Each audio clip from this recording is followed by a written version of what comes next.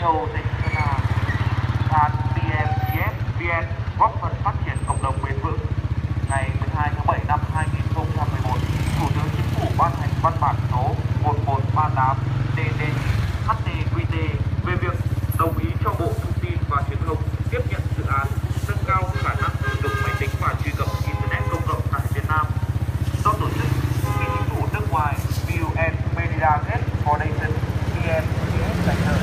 Dự án do Bộ Thông tin và Truyền thông chủ trì phối hợp với Bộ Văn hóa, Thể thao và Du lịch, Ủy ban nhân dân bốn tỉnh, Tổng công ty Bưu điện Việt Nam vnpost và các đơn vị liên quan triển khai tại 400 điểm bưu điện cộng đồng cấp tỉnh, huyện, 1.000 điểm bưu điện văn hóa xã và 500 thư viện xã trên địa bàn 40 tỉnh khó khăn tại Việt Nam.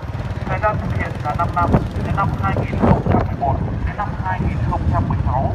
Tổng kinh phí của dự án là 50 triệu 568 362 USD. Trong đó, tài trợ không hoàn lại của VNGF là